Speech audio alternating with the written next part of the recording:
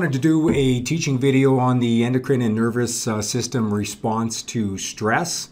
Uh, lots of questions on this type of stuff, so we thought it'd be beneficial to have a teaching video on this. So uh, what we're looking at, of course, when we're talking about the stress fight or flight responses, we're looking at the adrenal glands. The adrenal glands, if you looked at your notes, are broken up into kind of two glands in itself, right? We have a left and right, but we also have within a adrenal gland, we have an adrenal medulla, and then we have the adrenal cortex, which is the outer layer. Now, the medulla sounds like middle. They both start with M, and that's how you remember that we're talking about the middle portion of the adrenal gland. Now, one of them, of course, we know there is a long-term stress response to stress for dealing with stress over the long term. Uh, and then the other one, of course, is a short term response, something that happens instantaneously. You walk around a corner when you're hiking and there's a grizzly bear, man, right in a split second, all of a sudden your heart rate and all these different type of physiological uh, responses occur to that stress very, very quickly. So that's a short term, but it, again, short term response to uh, stress, but not over the long period of time. So when we take a look at this, let's go through this really quickly. Uh, we have the hypothalamus. So the hypothalamus sends a nerve response directly to the medulla. Okay, so we're talking about directly to the medulla. And that is a sympathetic nerve. So this response, of course, would be the short-term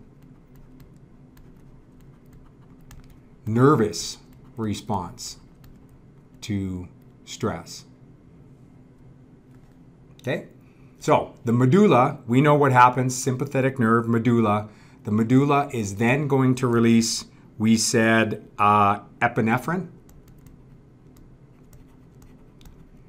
And the other thing that has the same effect is norepinephrine. You're going to see a question coming up with that. So epinephrine or norepinephrine, and this is uh, AKA, I guess, equivalent to adrenaline. And this causes all sorts of different type of physiological responses. So just a couple of them really quickly, increase heart rate, uh, breathing rate, uh, increase blood pressure,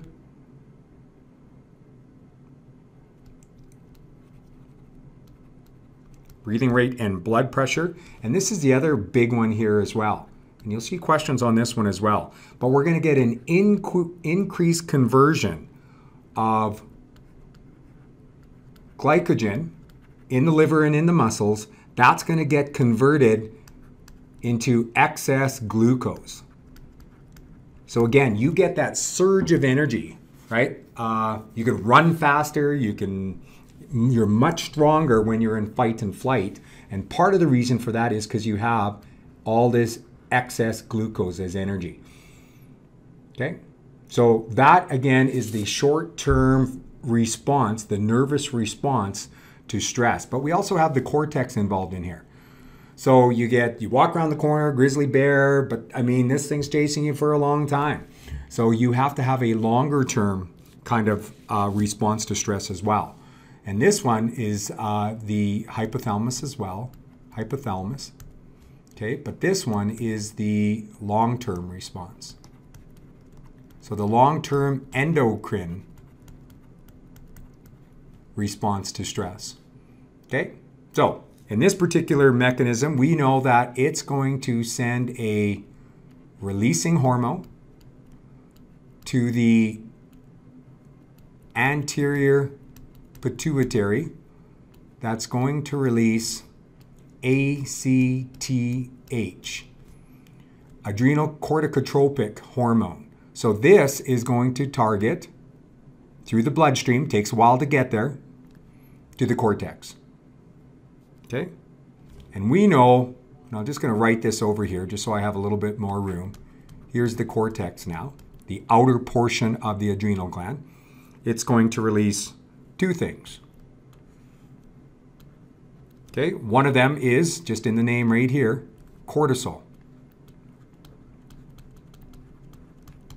Okay, and cortisol, what it's going to do, it's going to kind of break down proteins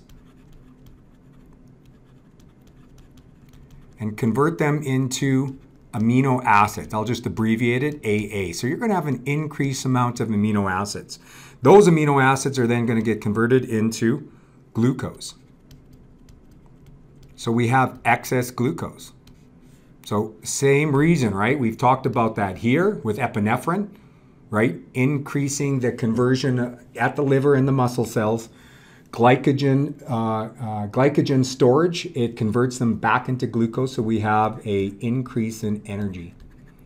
And you need that when you're in fight and flight. Same thing over here. So we start taking some of those amino acids. It also actually converts some fats into glucose as well.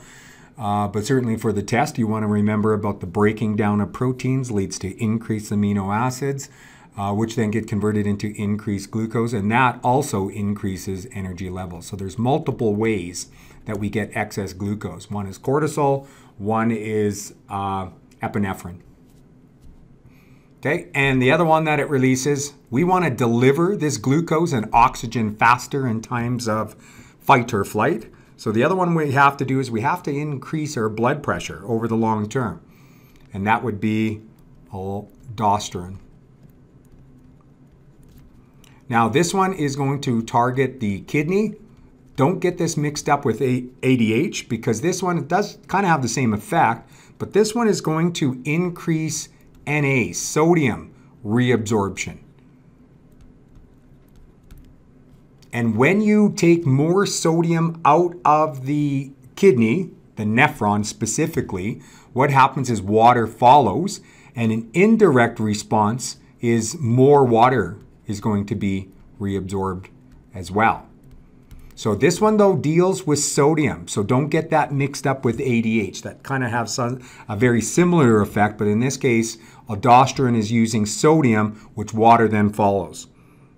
Okay, and that leads to more water in the blood, which then increases blood pressure, right? The more fluid that you have in the blood, it increases the pressure. And what is the purpose of that? That, of course, we said is to deliver right? We want to deliver glucose and oxygen faster in times of stress. Okay, so uh, difficult concepts. Again, two different systems uh, that are incorporated in to deal with fight and flight. Uh, if you have any issues with that, give me an email and we can go over some of this again. Okay, thanks.